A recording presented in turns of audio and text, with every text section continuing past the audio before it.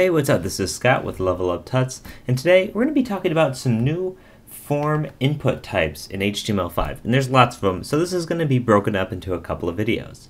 So these form input types, the uh, compatibility is a little scattered, so I would recommend checking out the compatibility individually for these input types uh, because over the course of time for when this video is created to when you're watching it, who knows if the compatibility that I'm saying is going to be accurate. So please do research on which items are going to be compatible with browsers that you need to make them compatible with. Although the fallbacks are pretty are pretty nice, so they look like just normal input fields. So it's you know it's it's a little bit of a difference. But if you want to use one of these, by all means, check out the compatibility before so you know what you're getting into. So we're just going to have a basic form at the bottom of this, and this is just going to be inside of, we'll just have a uh, section here, and I'm going to make a form tag, and I don't, I don't going to have a action or anything right now because I just want to show off these input types. So the first one we're going to talk about is number. So if we say input uh, in type, we can have a number tag. And this is a little bit different than anything we've seen before because there hasn't been an input type number before. So let's check out what happens in our browser. You'll notice that we have this uh, number box here and there's an up and down on it. Also, if I hit up and down on my keyboard, allows me to increase or decrease numbers. You can also likewise click these up and down or you could just in fact type a number. So what happens if you try to type letters in here? Well, you can, but then your browser gives you a little message that says, please enter a number. And this little message is going to be specific to browser. This is what the uh, message looks like in Google's Chrome. So what kind of things can we do with this number input? Well, there's actually some attributes we can give it. We can give it the value, step, minimum, and maximum attributes. So if we say something like, um, let's go right here, and let's say minimum 10, uh, the minimum value is going to be 10. So if I type in, or if I just hit up, you'll notice it starts at 10.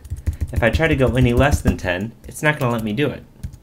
More importantly, if I try to have 9, it tells me I need a value greater or equal to 10.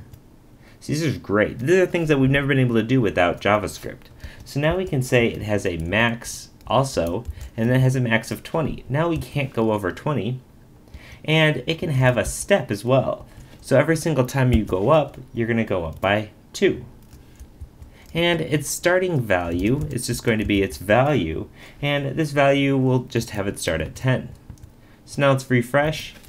Now our field is starting at 10, Every single time we go up, it goes up 2, up all the way up to 20, and then no higher than that.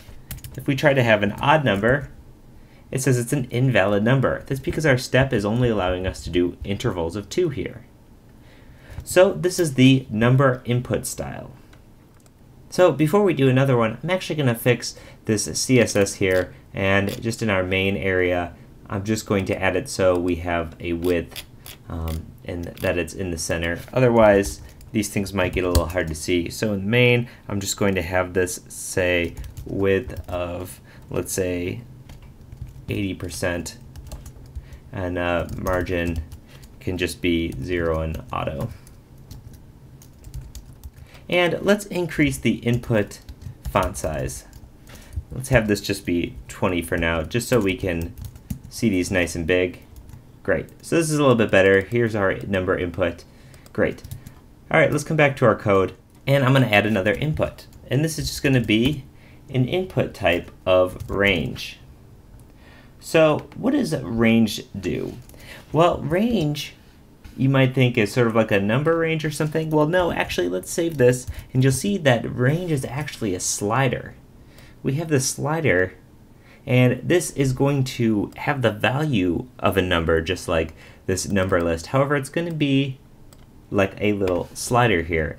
And how that slider is rendered is determined by your browser itself. Now, for uh, this range, we can also have a initial value for it. We can have a step and a min and a max. So we could also have min equals uh, 0, max equals 100. And you could also have a step, but uh, it's no, no big deal. So I'm going to have it a value at um, currently 50. And you'll see when we refresh this, the slider is going to start dead in the middle here. Now, on browsers that this is not supported in, uh, like older, uh, just older browsers in general, Internet Explorer, Firefox, uh, you're just going to see an ordinary input. So that would accept a text or a, a number value or something. So your users would be able to enter a, a number itself. Okay, so we have range and we have number. We also have an input type of date. Let's save this and see what happens. Now we have this date picker. You can use this up and down. You can use this click that opens up a browser's uh, calendar widget here, which is really nice because uh, we don't have to do this with JavaScript or anything like that. And it just is, is really elegant solution. Of course, if you want this to be compatible with most browsers, you're probably going to have to write a JavaScript fallback for those browsers that aren't compatible because otherwise this is just going to show up like an ordinary input field. So if you're just seeing ordinary input fields for these, try to use a browser like Chrome and you're going to see these sort of results here. So what sort of attributes does this accept? This accepts a value um, in which the format is similar to, well, it's the exact same as that we accepted in our date time time element. So if we say value, we want to have it be today. It would be 2013 hyphen 06 hyphen 22. Save this, refresh. We now see that is the uh, uh, default text default text value here. We can also have the uh, certain step maybe a step in days, so it's going up by every time you click the up button, it's going to go up by two days. And you could also have it a min and a max. This way, you don't want people maybe picking things in the past or later than uh, 2013 or something like that. You could say min is equal to uh, 2013 0101. So this is going to be the minimum it allows you to choose is January 1st, 2013 and um, let's go back here. And you'll notice the widget doesn't even allow me to go further than January 1st, and it won't let me select 31st of the previous year. However, it will let me select January 1st. Great, so so far these are three incredibly useful input types, and they really just keep getting more and more useful. Uh, there's all sorts of really great ones, so let's do one more, and we're going to do color. So input type and its color. Now, I don't believe color is supported very widely, so you're going to want to check out uh, what browsers are supporting color at the time that you're watching this video. However, I know Google Chrome supports it, and it's going to be a color picking widget, which opens up your system's color picking menu. On OS X, this is what it looks like, and you'll notice it's going to be selecting a color for me. And great, I just click the Xbox here, and now it's this green color has the value that the color chooser has picked. And when it submits, it's going to be the hex value of the color. So of course, browser support, and the fallback is just going to be a blank text field where you can put that hex value, but this is going to spit out a hex value, which is pretty darn cool.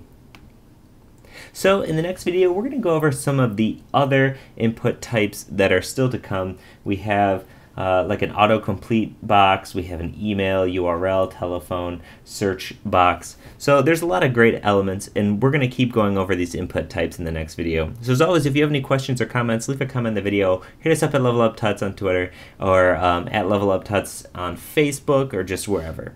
Once again, this is Scott Tolinski, and thanks for watching.